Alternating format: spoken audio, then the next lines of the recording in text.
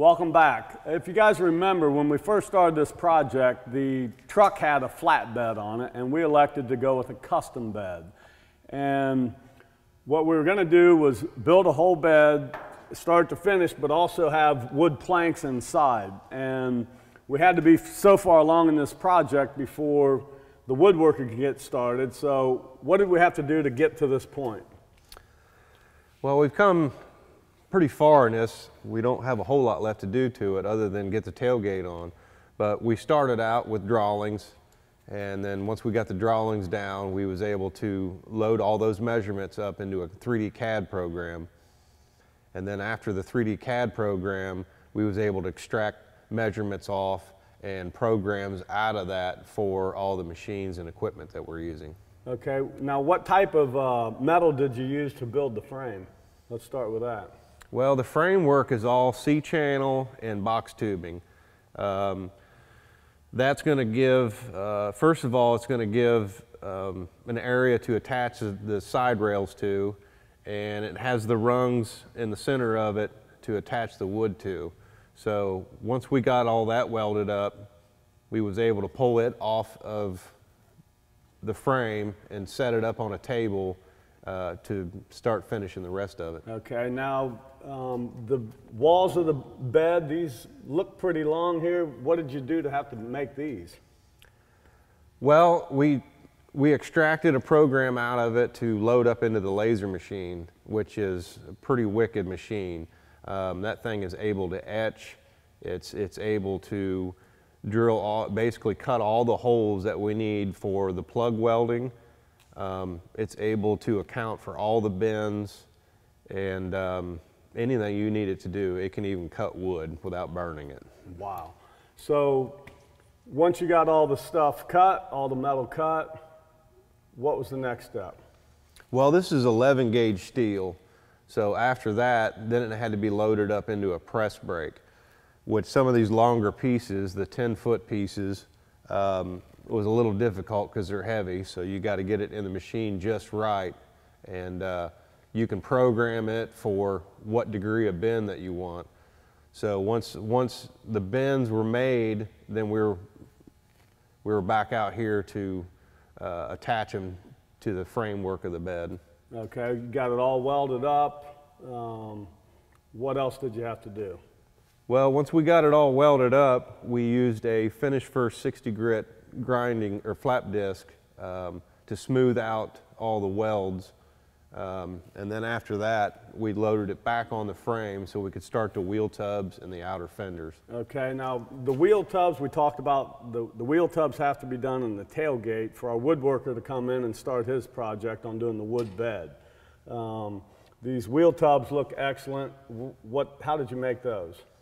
Well, the wheel tubs are actually two different pieces of metal uh, welded together to make one.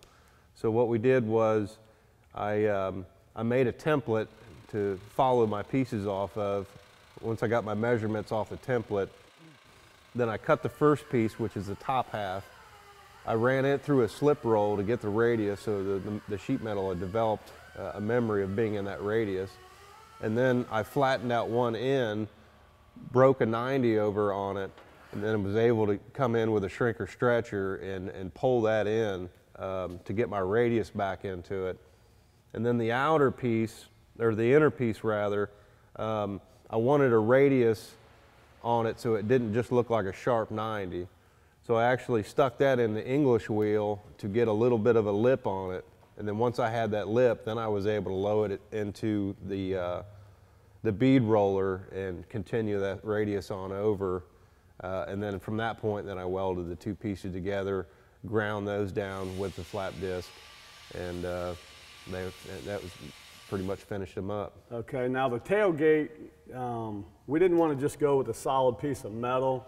The, all the styling on the front of this truck, there was nothing on the back, but I think you had a great idea for the, uh, for the, for the back of the tailgate. Tell me a little bit about it. Well, most people that walk up on this is probably not even going to know what it is. A lot of people haven't heard of, of Diamond T trucks, so I thought it would be a great idea to put the insignia on the back to help them uh, establish what it is. So let's walk over here and take a look at All what right, we're doing. Let's do that. Okay, Michael, tell me a little bit about the tailgate. Well, I took all the measurements off the back of the bed to figure out what the size, the height, width, and all that. Um, and then I went over to a piece of sheet metal and laid out all my lines with the bend lines, all the bead rolls before I cut anything out. Okay, now looks like it's got a little bit of design to it. I think it looks great. Tell me a little bit more about this bead roll. Okay, those beads actually add um, a little bit of strength and, and, structure to it, as well as cosmetics. Um, and with the bead rolls, you have to keep in mind when you run that in the machine, you need to um, run it up against a guide so you can keep the line straight. Uh, and they also have to be done before the bends are done. If you do the bends first, then you can't load it in the machine to, to do the beads. Gotcha. Now we're going to put the tailgate handle actually on the inside. So what did you do with this piece? This is actually a removable panel that, that'll be screwed to the inside of it. And this will give access into the latches in case anything goes wrong with those. Okay. Now, with the handle being on the inside, it gave us room to put the cool logo on the outside of us. Tell me what it took to do that. Yeah, this, uh, this is the start of uh, the Diamond T uh, logo. So what we did was we got two pieces of wood here that we had cut out on the laser machine to get the, the T cut out. And I bolted these two pieces together with the, the sheet metal sandwich between them. And this, this T was entirely hammer formed. So basically I made a little tool out of, uh, this is basically a steering shaft that I'd cut up and I ground and got radius on. Um, and this was completely hammer formed. So you don't always have to have exp expensive equipment to uh, shape, shape metal. Right. Now the, the actual diamond, I guess you're going to recess it or how's that work? Yeah, that's correct. Um, that's really going to make this pop is I'll use this uh, template and I'll bolt it to the metal.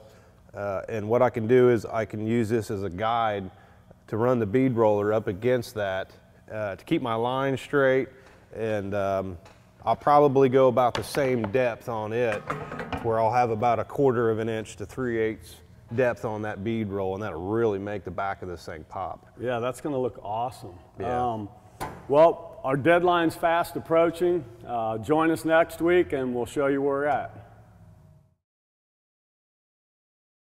If you'd like to see more, subscribe to our YouTube channel. Or follow our blog on gofinishfirst.com.